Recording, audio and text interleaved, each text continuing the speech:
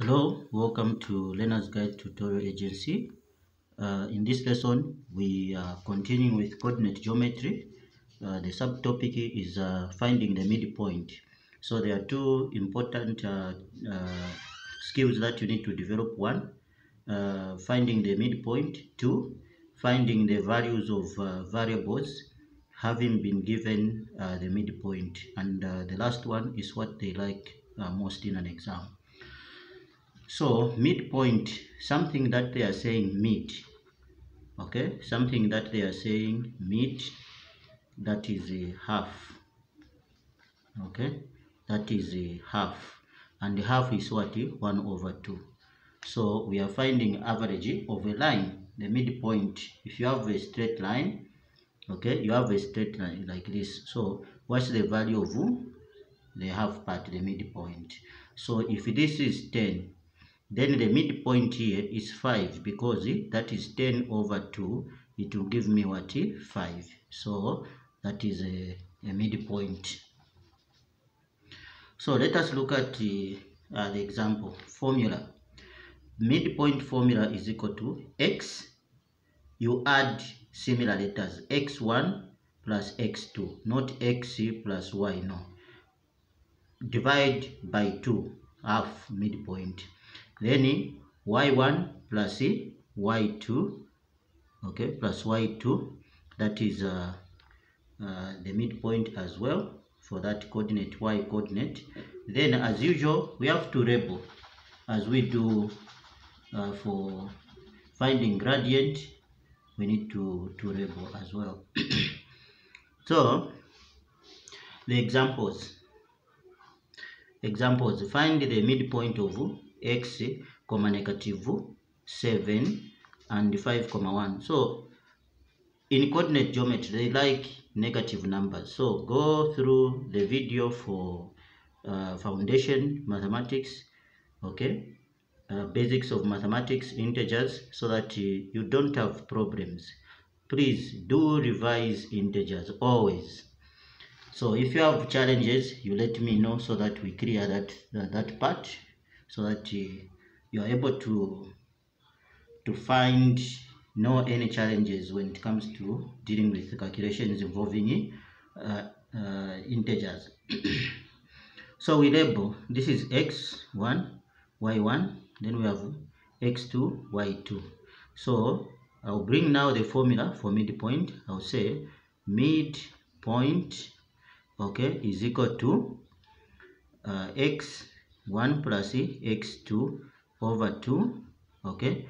Y comma you put a comma there y1 plus y2 over 2 okay? So in this case i'll put my my x1 that is 3 i'll say 3 plus my x2 is 5 over 2 i put a comma there. My y1 is negative 7 plus y2 that is plus 1 over 2 like this. So in this case 3 plus 5 it's 8 over 2 okay then here remember the rule for integers adding numbers of different signs subtract and pick the sign of the bigger number. So i'll just say 7 minus 1 okay 7 minus 1 so it will give me what? 6 now, the question, you ask yourself a question. 7 and 1, the bigger number, if it was not an integer, is 7. What sign does it have? It has the negative. So, this is the negative 6.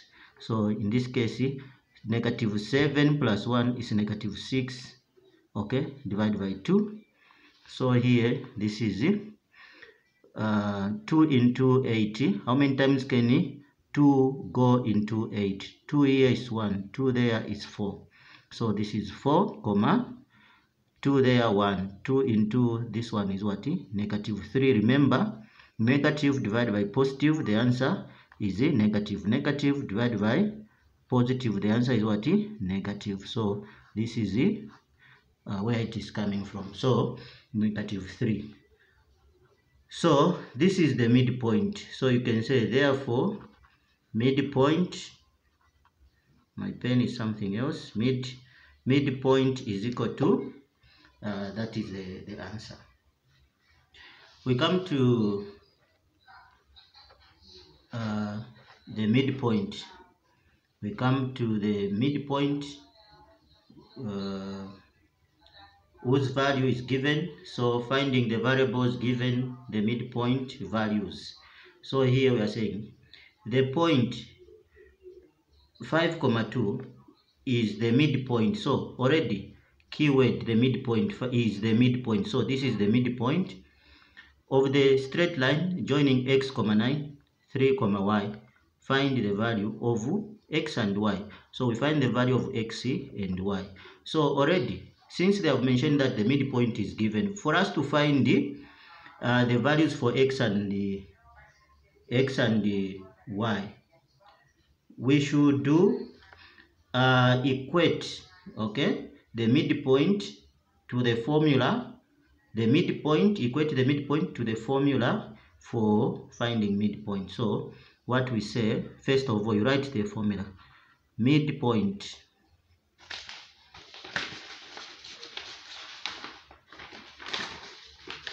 So I'll write from here so we say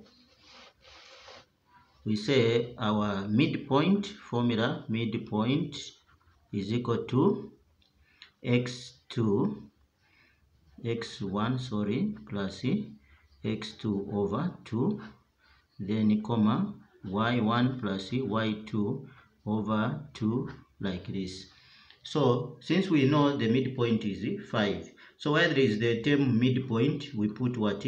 This value. So this is 5 comma 2 okay which is equivalent to then our points here this is our x1 this is our y1 x2 y2 so in this case we have x1 we put that is x plus x2 is 3 over 2 comma then y1 y1 is uh, 9 plus uh, y y2 that is y then over 2 so here basically we are dealing with the fractional equations so you equate the values. So in this case this is our x and this is our y. So x value 5 will be equated to x values and y values will be equated to this one? So this one will be equated to this one and this one will be equated to this one. Okay? So don't draw arrows. I'm just doing this for the purpose of explaining. Yours is just to write clean. Okay?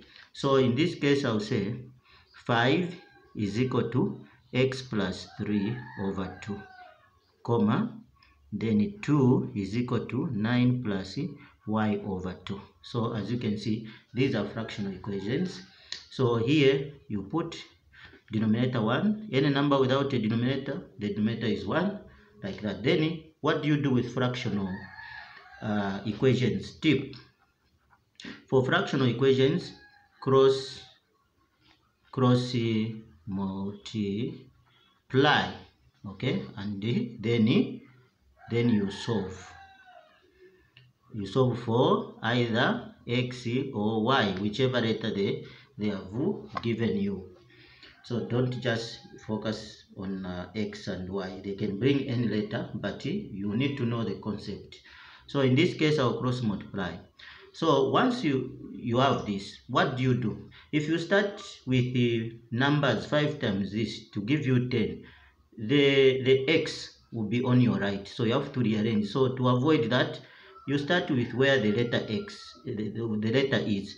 So x plus y times z, 1 so it's the same as 1 times. So 1 times everything there is the same thing. So x plus 3 is equal to 5 times 2 here I also start with where y is. So 1 times everything there that is uh, 9 plus y the answer. So say 9 plus y is equal to 2 times 2 so I was starting with letters because I want the subject to be on my left hand side the way it's supposed to do to be. So this time this is 10 so x plus 3 is equal to 10 then 9 plus y is equal to 4 so in this case this is x is equal to 10 when this goes to the other side okay it will become negative so minus 3 so x is equal to 7 and when this goes there it will be minus. So the number